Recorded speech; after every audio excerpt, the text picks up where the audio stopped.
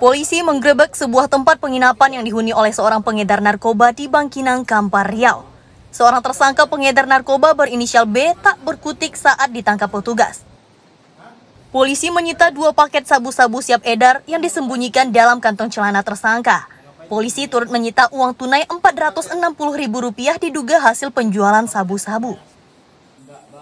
Tersangka sebelumnya sudah menjadi target polisi karena terlibat dalam jaringan pengedar narkoba di Bangkinang Kota.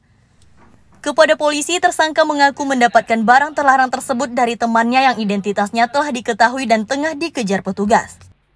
Ya, kita telah melakukan penangkapan terhadap salah satu tersangka inisial P, yang mana pelaku adalah pengedar narkotika jenis sabu.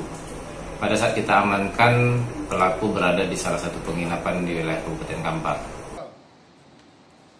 Guna penyelidikan lebih lanjut, tersangka ditahan di Polres Kampar. Dikenai pasal 114 Undang-Undang Nomor 35 Tahun 2009 tentang narkotika dengan ancaman hukuman 5 tahun penjara.